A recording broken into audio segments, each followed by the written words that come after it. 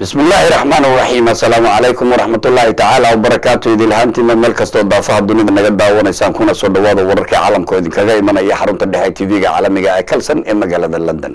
Wararkana waxaa soo jeedinaya anigoo cabdilaahi xuseen maariya. Wararka aan idin haynana waxaa ugu dooroon shan qof ayaa ku geeriyooday dagaalo qabali ah oo ku dhex maray laba maleeshiya gobolka shabeellada dhexe ee soomaaliya. Iyo dil aad iyo aad u xanuun badan oo xalay ka dhacay magaalada muqdisho masjid ku yaal xaafadda xamar jajab iyo howlgallo maanta ay ka wadaan magaalada boosaaso ciidamada ammaanka ee dowlad goboleedka puntland iyo magaalada boros ee wadanka sweden oo lagu qabtay xaflad lagu taageerayay madaxweynaha cusub ee soomaaliya. Mas'uuliyiinta xisbiga wadani ee gobolka togdheer ayaa iyana cambaareeya xariga horaa maxamed baashe oo ku xiran magaalada hargeysa iyagoo xukuumadda somalilan ka codsaday in dib xorriyadiisa loogu soo celiyo. Wararka caalamka aan idiin haynana waxaa ka mid ah. Ururka jilayaasha wadanka maraykanka oo soo abaabulaya kacdoon ka dhan amaba banaanbaxyo aada iyo aada looga soo horjeedo madaxweyne donald trump. Intaas waa warkii oo kooban haatanna isagii fidsan. Shan qof ayaa ku geeriyooday dhowr qof oo kalena waa ay ku dhaawacmeen. Dagaalo ku dhex maray laba maleeshiyaad oo kala taabaxsan laba beelood oo iyagu wada dega magaalada cadaleh ee gobolka shabeellada dhexe ee soomaaliya dhanka kalena waxaa dil aada iyo aada u foolxun uu ka dhacay masjid ku yaal gudaha magaalada muqdisho xaafadda xamar jajab dhacdadan oo xalay dhacday. Waxaa masjidka dhexdiisa lagu dilay mid kamida dadkii deganaan dadkii degaanka marxuum maxamed cumar oo horey u soo noqday guddoomiye ka tirsan laan degmada xamar jajab ayaa xalay lagu dhex dilay masjidka.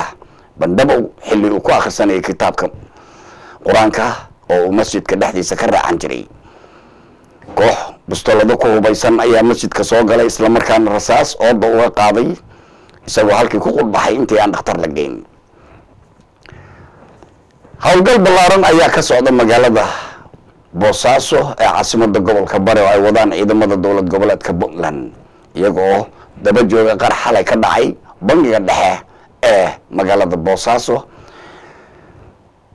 Ciidamada bilayska puntland ayaa galaya guryaha xaafadaha kala duwan ee magaalada boosaaso iyagoo markaa ka baaraya hub iyo waxa ay kaloo sheegeen inay ku raad joogaan raggii ka dambeeyey qaraxii xalay ka dhacay magaaladaas.